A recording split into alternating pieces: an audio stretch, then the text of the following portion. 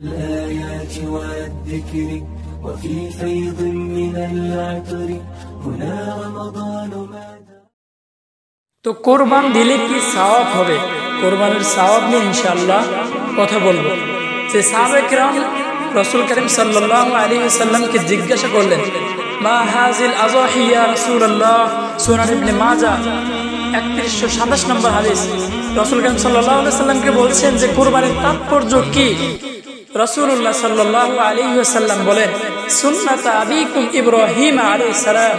তোমাদের ফিতা ইব্রাহিম আলী সাল্লামের এটা সুন্নত।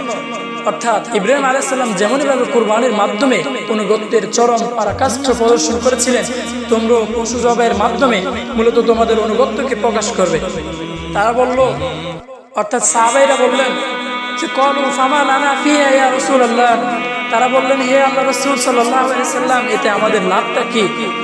রসুল করিম সাল্লাম তাদের উত্তরে বললেন কলা বিকুল্লি শাহরুদ্দিন হাসানাতুন। প্রতিটি রুমের বিনিময়ে একটি করে আল্লাহ সুবাহ তাআলা তোমাদেরকে নেকি দিয়ে দিলেন। সুনান ইবনে মাজা হাদিস নম্বর একত্রিশশো সাতাশ।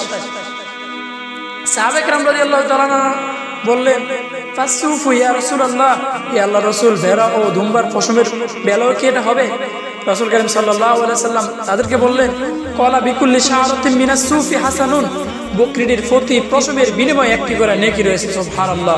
অন্য হাদিসে রসুল করিম সাল্লাম বলেন ওয়া ইন্নাহু লা কিয়ামাতি বিকুরুনিহা ওয়া শারিহা ওয়া দিন ওই তার শিং, লোম উপস্থিত হবে।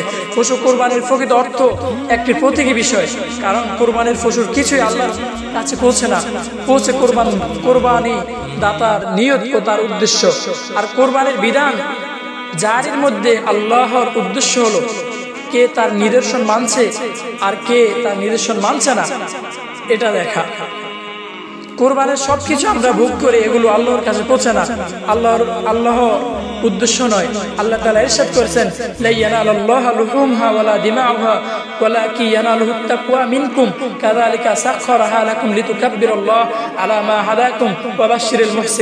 আল্লাহ হজ সাতত্রিশ নম্বর যে, এগুলোর ও রক্ত আল্লাহর কাছে না, পৌঁছে তোমাদের অন্তরের তাকুয়া এমনি ভাবে তিনি এগুলোকে তোমাদের বশীভূত করে দিয়েছেন। যাতে করে তোমরা আল্লাহর মহত্ব ঘোষণা করো। এই কারণ এই কারণে যে তিনি তোমাদের পথ প্রদর্শন করেছেন, সুতরাং সৎকর্মশীলদেরকে সুসংবাদ শুনিয়ে দাও। পশু কোরবানির মধ্যে আমাদের জন্য কোরবানির শিক্ষা রয়েছে। একটি পশু আমাদের চেয়ে দৈহিক কাঠামগত দিক থেকে কত বড়, শক্তির দিক থেকে আমাদের চেয়ে কত শক্তিশালী, এতটা সত্ত্বেও আমরা চলে বলে, কলা কৌশলে এগুলোকে জবা করছি, এটা মূলত আল্লাহর মেহরবানি। তিনি এগুলোকে আমাদেরকে বসীভূত করে দিয়েছেন।